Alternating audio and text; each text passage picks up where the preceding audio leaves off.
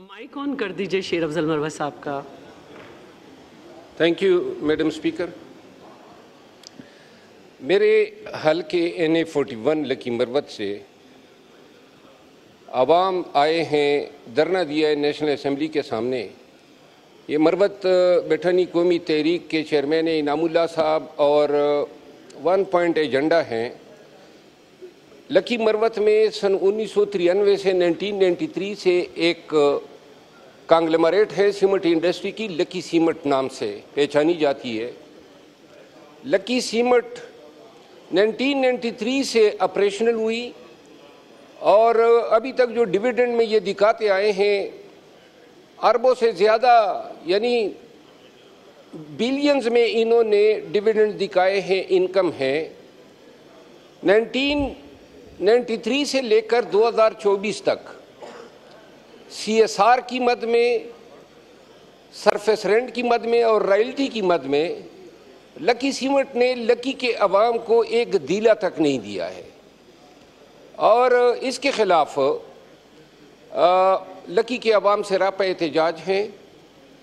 इन्होंने एक अस्पताल खोला वेलफेयर हॉस्पिटल वो भी कराची में। पाँच हज़ार इनके एम्प्लाइज़ हैं और जो स्टेटिस्टिक्स हैं मेरे पास, चवालीस एम्प्लाइज़ वो भी गार्ड्स वगैरह, वो लकी मरवत से हैं, बकाया सारे दीगर अजला या सूबों से लगाए गए हैं। मेरी इस्तदा ये है कि ये जो अवाम बेटी हैं, धरना दिए। मिनिस्ट्री ऑफ़ इंडस्ट्री जो है, अगर इस हवाले से कोई रिपोर्ट तलब कर ले कि क्यों कर, कानून को एडहेयर नहीं किया जा रहा। सीएसआर में फाइव परसेंट इन्होंने अपने डिविडेंड्स में से इलाके के लोगों को देनी है। न कोई एक स्कूल बनाया, न एक सड़क बनाई, बल्कि उल्टा ये है कि वहाँ पत्थर काटने से और पहाड़ों को काटने से बहुत ही ज़्यादा पोल्यूशन फैल चुकी है। शेख बदीन का पहाड़ है, तकरीबन आधा किलोमीटर ये काट गए हैं इन सालों में कालिया। नेचुरल ब्यूटी भी हमारे इलाके की ख़राब हो रही है रिसोर्सेज इस्तेमाल हो रहे हैं। ऊपर से जो सड़कें सूबाई हुकूमत बना लेती है उन सड़कों पे हेवी ट्रॉलर से ये सीमेंट ले जाते हैं, सड़कें दो माह में बैठ जाती है।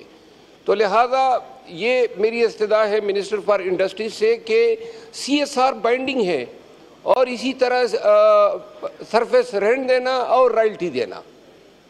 इसका ताल्लुक जो है थोड़ा बहुत प्रोविंशियल गवर्नमेंट से बनता है, लेकिन मेन जो रिस्पॉन्सिबिलिटी है वो फेडरल जो इंडस्ट्रीज़ की मिनिस्ट्री है वो उनसे रिलेट कर thank you thank you so much now the further discussion on the motion ji supplementary Sanaullah मस्ती खेल साहब हाँ। जी सनाउल्ला मस्ती खेल साहब जनाब स्पीकर मैं आपका शुक्रगुजार हूँ। मिनिस्टर साहब ने जवाब दिए मैं रोऊं मैं सिर पीट सर पीटूं मैं क्या करूँ? काश्तकार का कोई पुरसान हाल नहीं है। हकूमत जो है वो लंबी तान के सोई हुई है। इन, ये मैं समझता हूँ इनको कोई होश हवास भी नहीं है। इनका मैं समझता हूँ कि ये अवाम का अगर मैंडेट लेके आते तो ये अवाम को मुँह दिखाने के काबिल होते। ये अवाम को मुँह दिखाने के काबिल नहीं है। खुदा की कसम सर, मैं अभी सीधा गाँव से आ रहा हूँ। परसों मैं गया हूँ सर एक जगह फाता देने के लिए काड़ती के पास। वहाँ काफ़ी लोग काश्तकार बैठे हुए थे। मैंने कहा बेटा कैसे गंदम बेच रहे हो? आखिर जी हम तो छः हज़ार रुपये की ले रहे हैं जी। यार क्यों झूठ बोलते हैं कौम के साथ अवाम के साथ इस हाउस के सामने? आपकी हुकूमत की कोई पॉलिसी नहीं है। आपकी हुकूमत की कोई नुकता नज़र नहीं है। आपने खुद कहा है कि हम नहीं ले खरीद नहीं सकते। आप किस मुँह से बात कर रहे हैं? आपने जो गंदम इंपोर्ट किया है और मौजूदा हुकूमत ने भी सर सत्तर सत्तर अरब रुपए की गंदम इंपोर्ट की है। इस पर जुडिशल कमीशन बनाया जाए। ये कौन गद्दार है जिन्होंने मुल्क का खजाना लूटा है जिन्होंने पाकिस्तान के 25 करोड़ काश्तकारों का हक छीना है उनके बच्चों की गजा छीनी है। अगर कोई शामिल होगा तो उनका अवाम गिरबान पकड़ेंगे। ये हुकूमत फेल हो गई है नाकाम हो गई है। अभी तो इन्होंने जुडिशल कमीशन क्यों नहीं बनाया? मुझे अफसोस होता है मेरा भाई मिनिस्टर साहब यहाँ आया हुआ है टाई लगा के बैठता है बात करके चले जाते हैं कोई पुरसाने हाल। ही जी सवाल? रोना आता है हमें खुदा की कसम। सवाल जमींदार का बेटा है वकील बन गए हो तुम यार। तुम हक की हक की बात तो करो। अब अब मैं चैलेंज करता हूँ पूरे हाउस को। जी। मेरे साथ आए। मियाँ रियाज हुसैन पीरजादा बैठा है जमींदार का बेटा है जमींदार है। वो बैठा है वो हमारे बैठे हैं भाई पाकिस्तान पीपल्स पार्टी सवाल कीजिए। जमींदारों की औलाद बैठे हैं। रशीद अकबर खान निवानी बैठा है। सवाल। यहाँ कह दे कि यहाँ पंजाब में गंदों में भी खरीदारी शुरू नहीं हुई। अमीर मुकाम बैठा है अमीर मुकाम तो पहाड़ी इलाके के वहाँ गंदम नहीं होती।